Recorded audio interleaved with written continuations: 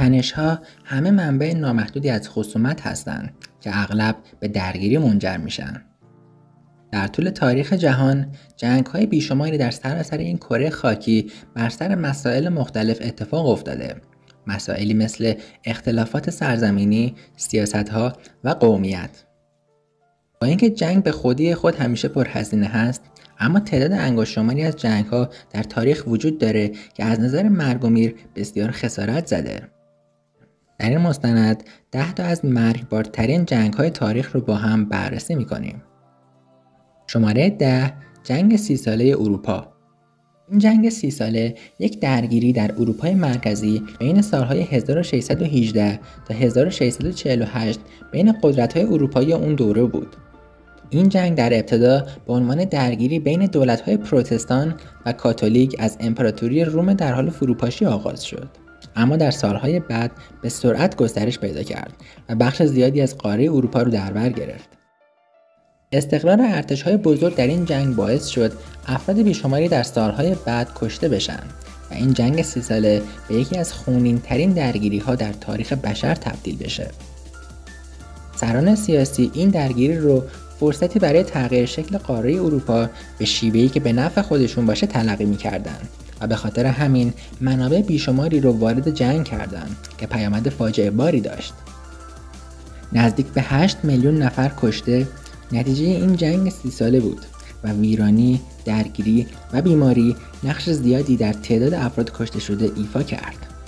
بیماری های تاون بوبونیک، اسهال خونی و تیفوس همگی در این دوره زمانی به سطح همهگیری رسیدند و بسیاری از جوامع آلمانی و ایتالیایی از همه بیشتر آسیب دیدند. شماره 9 جنگ داخلی چین این جنگ در اواسط قرن بیستم بین نیروهای کمونیسم و جمهوری چین در جریان بود. این جنگ دو مرحله جداگانه داشت که مرحله اول بین سالهای 1927 تا 1936 اتفاق افتاد و مرحله دوم بین سالهای 1946 و 1950. این درگیری بعد از فروپاشی سلسله چینگ آغاز شد. از اونجایی که دولت و نیروهای کمونیستی تلاش کردند تا قدرت رو به سمت خودشون بکشونن این درگیری خیلی زود با نتایج ویرانگر آغاز شد. بدتر از همه اینها کمک های سیاسی و نظامی از خارج خصومت ها رو بین کمونیست ها و ناسیونالیست ها کرد. به این دلیل که هر دو طرف کارزار فعالی رو برای ریشهکن کردن طرف مقابل امضا کرده بودند. این خصومت ها با شروع جنگ جهانی دوم و حمله امپراتوری ژاپن به چین متوقف شد. اما ناآرامی های نظامی بار دیگه در مرحله دوم با تمام شدن جنگ جهانی از سر گرفته شد. در نهایت کمونیست ها در این جنگ پیروز شدند اما هزینه اون جنگ که با جون انسان ها رابطه داشت برای مردم چین بسیار زیاد بود.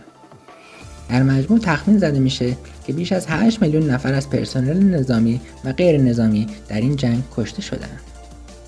شماره 8 جنگ داخلی روسیه جنگ داخلی روسیه یک جنگ چند حزبی بود که بین سالهای 1917 تا 1926 انجام شد و ارتش سرخ یا همون کمونیست و ارتش سفید یا همون ناسیونالیست در اون شرکت داشتند.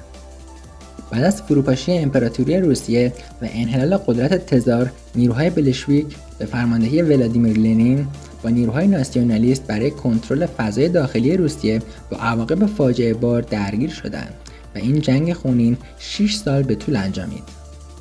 آمار کل مرگ و میر این جنگ داخلی رو به سختی میشه مشخص کرد. این درگیری در یک دوره پرهرج و مرج در تاریخ روسیه اتفاق افتاد و اون هم انتقال قدرت تزار به نیروهای دیگه بود. با این وجود در حال حاضر توسط مورخان پذیرفته شده که در این درگیری 9 میلیون نفر جون خودشون رو از دست دادن و چند میلیون نفر دیگه بر اثر جنگ معلول و به شدت مجروح شدن.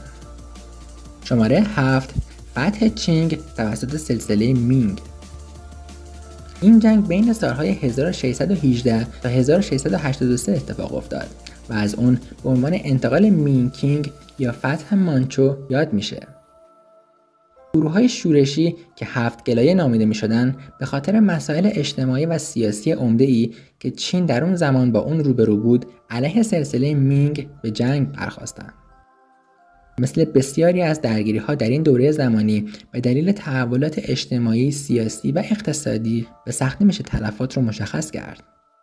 با این حال تخمین زده میشه نزدیک به 25 میلیون نفر در این جنگ جون خودشون از دست دادن و میلیون ها نفر دیگه معلول و زخمی شدن.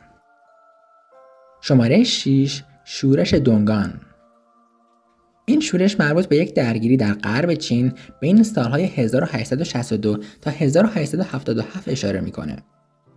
با توجه به جمعیت زیاد این کشور و وضعیت آشفته در سال 1862 تشخیص آمار تلفات شورش دوگان توسط محققان دشواره و تاکنون هیچ آمار رسمی اعلام نشده.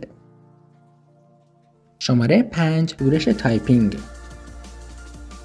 این شورش به یک جنگ داخلی اشاره داره که بین سالهای 1850 و 1864 در چین بین دولت و پادشاهی تایپینگ رخ داد. نیروهای تایپینگ به فرماندهی فردی به نام هونگ کوان جنگی علیه سلسله چینگ با هدف تبدیل دین مردم چین به مسیحیت راه انداختند. شورشگر تایپینگ تونست کنترل بخش‌های قابل توجهی از جنوب چین رو به دست بگیره و حدود سی میلیون نفر در اوج قدرت تحت کنترل اونها قرار گرفتن. تخمین زده میشه تعداد کشته های این جنگ بین 20 تا 30 میلیون نفره و هزاران نفر دیگه هم زخمی شدن. شماره 3 جنگ دوم چین و ژاپن این جنگ به درگیری بین جمهوری چین و امپراتوری ژاپن اشاره داره. از 7 جولای 1937 تا 2 سپتامبر 1945 این جنگ به عنوان یکی از خونین ترین درگیری ها در تاریخ بشر شناخته میشه.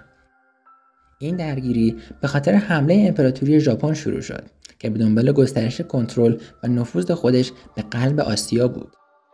چون اونجا منابع نیروی کار و غذا برای امپراتوری در حال رشد اونها فراوان بود. با اینکه رقم ها به طور قابل توجهی متفاوت اما پذیرفته شده هستند اما نزدیک به 29 میلیون نفر به خاطر این جنگ کشته شدند از این تلفات به نظر میاد که تقریبا 20 تا 25 میلیون نفر غیر نظامی بودند و تخمین زده میشه که 4 تا 5 میلیون پرسنل نظامی در هر دو طرف چینی و ژاپنی کشته شدند. شماره دو شورش آنلوشان شورش آنلوشان به یک جنگ بزرگ اشاره داره که در 16 دسامبر سال 755 پس از میلاد در چین اتفاق افتاد. این شورش نزدیک به 8 سال طول کشید و در نتیجه تبعات مستقیم اقدام ژنرال آنلوشان بود که خودش رو امپراتور شمال چین در سرپیچه از سلسله تانگ اعلام کرد. سلسله تانگ از ترس پایان یافتن سلطنتشون نزدیک به 4000 مزدور رو استخدام کرد تا ارتششون رو در نبردهای بعدی همراهی کنه. این جنگ که در دوران سلطنت سه امپراتور جداگانه اتفاق افتاده بود به تحولات اجتماعی، اقتصادی و سیاسی بزرگ در چین منجر شد تا اینکه شورش در سال 763 پس از میلاد به پایان رسید. در مجموع محققان مرگ کلی رو 36 میلیون نفر اعلام کردند. و در نهایت شماره یک جنگ جهانی دوم جنگ جهانی دوم یک درگیری عظیم جهانی بود که از سال 1939 تا 1945 به طول انجامید و تقریبا تمامی کشورهای دنیا درگیرش بودند. دو اطلاف نظامی یا همون متحدین و متفقین که به دو اردوگاه مجزا تقسیم شدن نزدیک به 6 سال درگیر جنگ تمام ایار با عواقب ویرانگر از نظر تلفات انسانی و ویرانی بودند. در مجموع حدود 100 میلیون پرسنل نظامی از کشورهای مختلف با عواقب وحشتناک وارد این درگیری شدند. طی این درگیری هزاران شهر ویران شد و میلیون های انسان کشته شدند. در مجموع عموما توسط محققان پذیرفته شده که 70 میلیون نفر به خاطر این جنگ جون خودشون رو از دست دادن. از این تعداد نزدیک به 20 میلیون نفر نظامی بودند در حالی که 40 تا 50 میلیون نفر دیگه از مردم عادی بودند. اتحاد جماهیر شوروی به تنهایی تقریبا 27 میلیون نفر از این مرگومی رو به خودش اختصاص داده. جنگ همچنان یک واقعیت وحشتناک برای تمام دنیا است. با ظهور عصر هسته‌ای و توسعه سلاح‌های کشتار جمعی، پتانسیل ویرانگر جنگ هرگز در تاریخ جهان از امروز قویتر نبوده. با این حال اگر تاریخ بار دیگه در قالب یک درگیری جهانی تکرار بشه، نتایج می‌تونه بسیار فاجعه بار باشه. مرسی از اینکه تا آخر این ویدیو رو تماشا کردید نظر شما راجع به هر کدوم از این جنگا چیه لطفا کامنت بدید